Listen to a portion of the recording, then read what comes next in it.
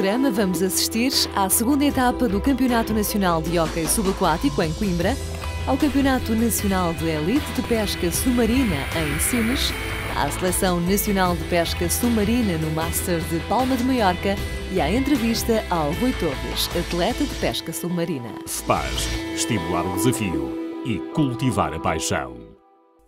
A segunda etapa do Campeonato Nacional de Hóquei Subaquático decorreu nos dias 14 e 15 de abril de 2012 no Complexo de Piscinas Luís Lopes da Conceição, em São Martinho do Bispo, Coimbra.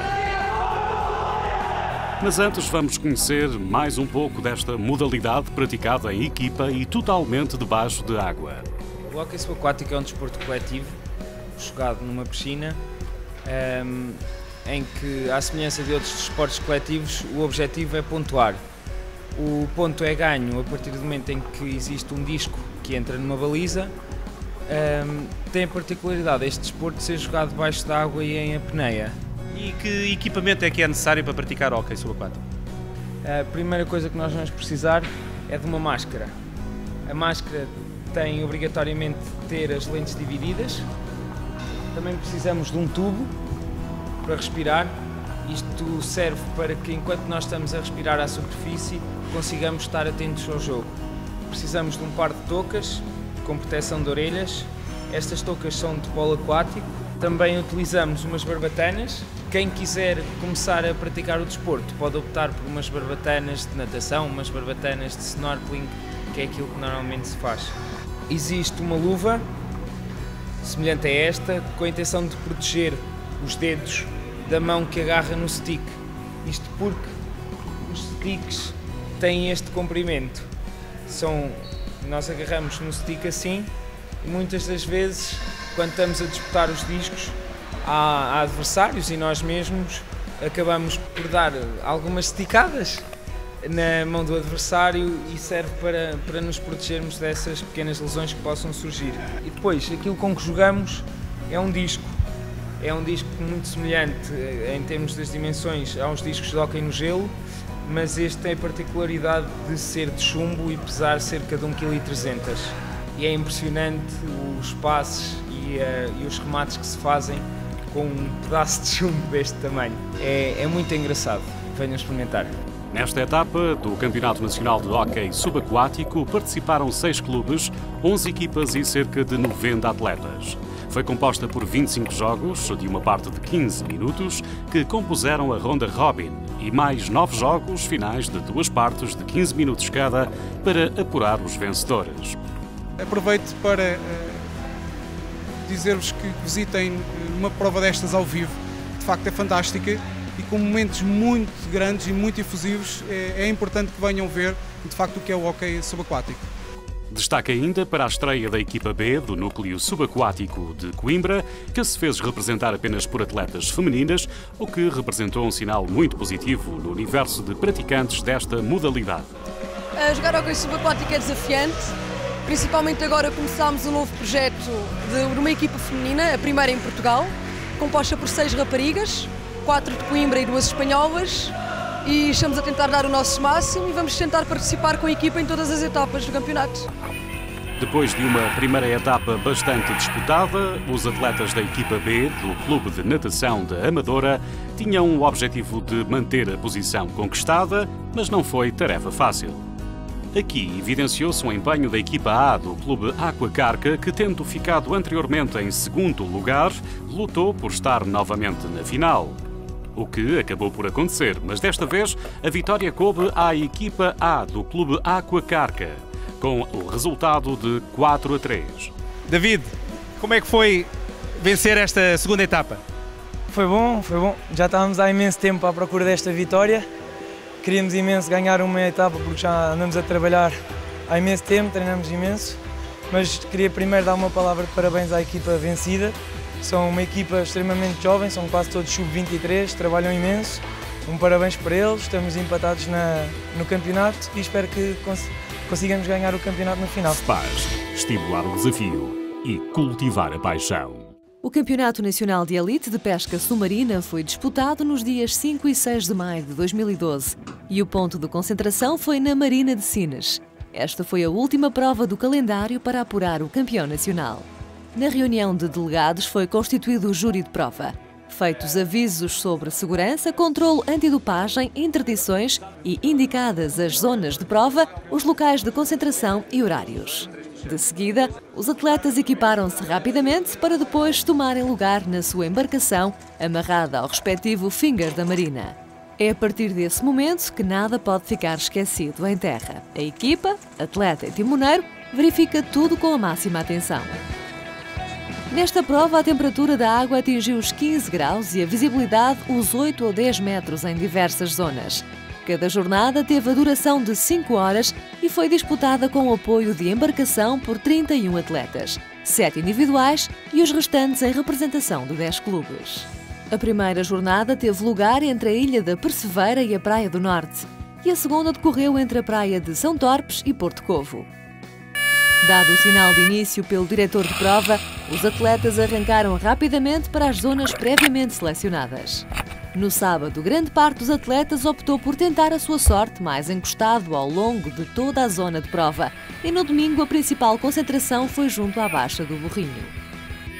Embora esta prova tenha tido a participação apenas de atletas masculinos, também contou com a participação feminina, nomeadamente com algumas timoneiras.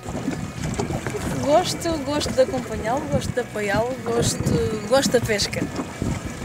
Acho que é uma adrenalina brutal. Mar bom, mar mal, ondas, epá, Verão, não me inverno. importa. Verão, inverno. Verão, inverno, epá, 10 graus ou 30, estou lá. Desta prova saiu uma boa diversidade de capturas, muitas tainhas e salemas, alguns sargos, rascaços, abrótias, robalos, saimas, safios, pampos, um bonito serra e um salmonete.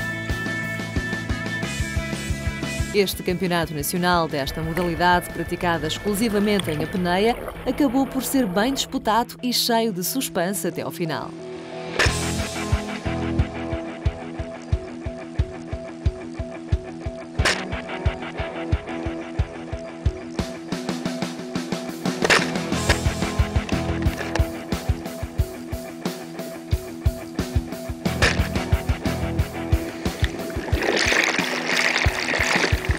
Primeira jornada, classificou-se em terceiro lugar o Rui Torres, que estava a defender o título de campeão nacional.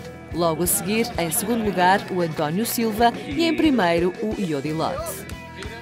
Na segunda jornada, as classificações deram uma reviravolta, ficando em terceiro lugar o Carlos Lourenço, em segundo o Pedro Silva e em primeiro o João Peixeiro. O troféu de maior exemplar foi atribuído ao Ivo Vital pela captura de um robalo com 5 kg e 560 gramas. Na classificação por clubes ficou em terceiro lugar o Clube da Casa, o Grupo Desportivo e Cultural Administração do Porto de Sines. Em segundo lugar, o Clube Open Ocean Marina de Cascais e o vencedor, o Clube Costa Norte, que com apenas dois anos conquistou o seu segundo título consecutivo. Por fim, no pódio da classificação deste campeonato nacional ficou em terceiro lugar o Carlos Lourenço, do Clube Costa Norte, em segundo lugar o Iodilote, do Clube Porto e Submares, e o novo campeão nacional de 2012, o João Peixeiro, do Grupo Desportivo e Cultural Administração do Porto de Sines. ser campeão nacional, eu, quando era muito novo, eu pensei que pensava, sonhava que podia uma vez pudesse chegar aqui, mas nunca, nunca pensei que pudesse mesmo acontecer.